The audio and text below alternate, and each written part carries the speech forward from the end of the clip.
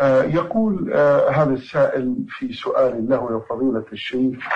آه، مرسلة ميم ميم تقول لدينا في المنزل قطط مؤذية حيث إنها تدخل إلى المنزل وتأخذ بعض الأشياء وتخيفنا وقد استأذناها بالخروج وحاولنا أن نخرجها ولكن لم تخرج إلى الشارع فهل يمكن لنا أن نقتلها بالسم أو بوضع بعض الزجاج في قطعة من اللحم إذا كانت القطط تؤذيكم وقد